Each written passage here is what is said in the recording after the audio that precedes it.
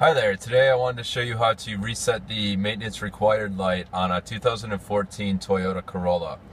And as you'll notice when you turn on the car, to the left is uh, maintenance required light is on. So in order to do that, we're going to be using this display button that's on the steering wheel. So you scroll through with that button and you get to just past the odometer, there's trip A. Make sure you hold that down and cancel it out to put it at 0.0.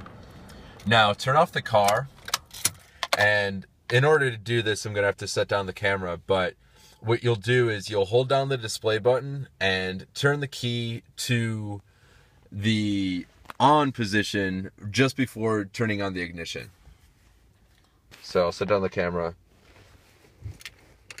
hold the display button, put the key in, turn it to on, and then you'll notice that the maintenance required is flashing.